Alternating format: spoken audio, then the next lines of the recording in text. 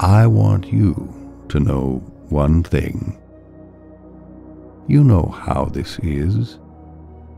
If I look at the crystal moon, at the red branch of the slow autumn at my window, if I touch near the fire the impalpable ash or the wrinkled body of the log, everything carries me to you, as if everything that exists aromas, light, metals were little boats that sailed toward those isles of yours that wait for me.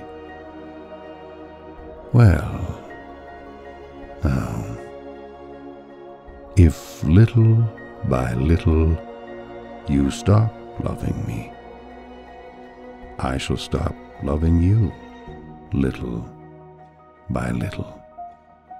If suddenly you forget me, do not look for me, for I shall already have forgotten you.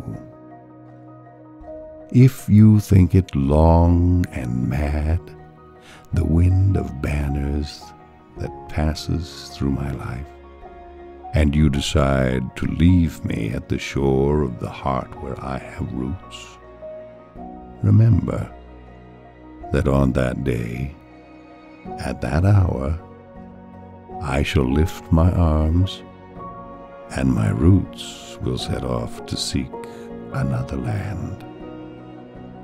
But if each day, each hour, you feel that you are destined for me with implacable sweetness, if each day a flower climbs up to your lips to seek me, ah, my love, ah, my own, in me, all that fire is repeated.